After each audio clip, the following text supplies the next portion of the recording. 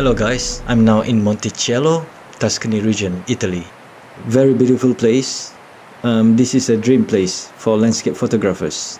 So now I want to do a comparison on the camera on the Huawei Mate 20 Pro and comparing it with the bulky Canon 1DX Mark II and I'm gonna be snapping landscape photographs on this beautiful landscape of Tuscany.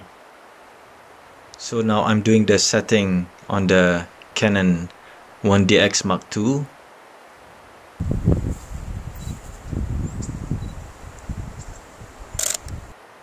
There you go. So for the setting on the Huawei Mate 20 Pro, I'm gonna be using the Pro mode to shoot on RAW. Okay now, let's go straight to Adobe Lightroom for editing. First, I would like to get the detail back on the highlight area here on the photo. So I will lower down the highlights and darken the whole image by lowering down the exposure of the image. Now I get a good detail of the highlight area of the photo. Next I will deal with the shadow area on the trees at the bottom of the image. So I will bring up the shadow. Now you can see there are more details on the shadow area on the trees. Okay now, I'm gonna slightly increase back the exposure of the whole image so it doesn't look so dark. Now the image still looks very dull so by looking at the histogram here at the top right, I'm gonna slowly increase the whites and slightly bring down the blacks and this will give a nice contrast on the image. Then again, I'm gonna adjust the exposure while still maintaining the details on both the highlights and the shadow. Now I will move to the colors. First, I will increase the vibrance.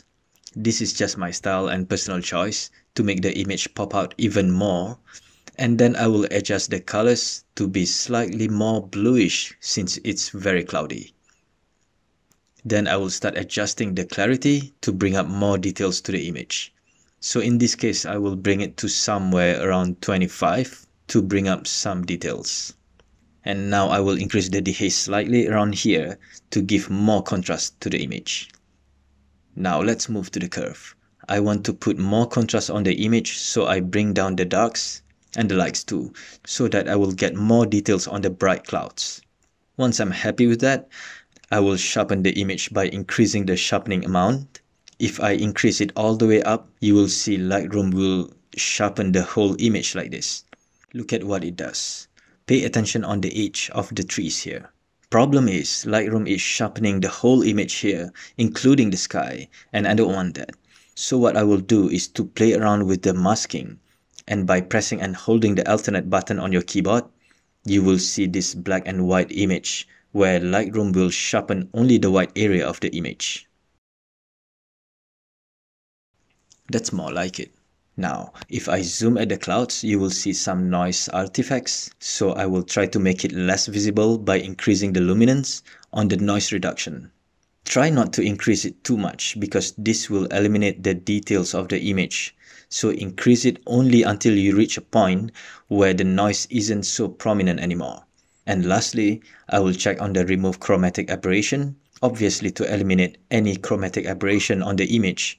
And finally now, I will export this image to a JPEG. And let's see it on full screen. So basically that's how I usually edit my photos in Lightroom.